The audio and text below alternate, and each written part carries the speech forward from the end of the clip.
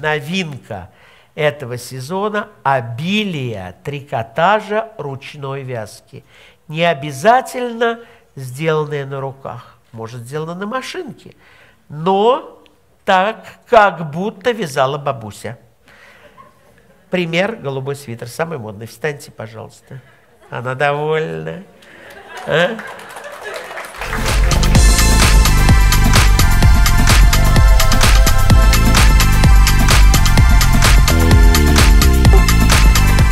Эти оттенки томата, то есть красного, часто с теплой составляющей, то есть составляющей оранжево-терракотовой, очень популярен сегодня, и вы можете смело найти для себя что-то. Вот здесь у меня на вешалке вещи похожих оттенков, магазин ХЦ Лейпциг представляет вот эти самые модели, и вы их тоже можете увидеть.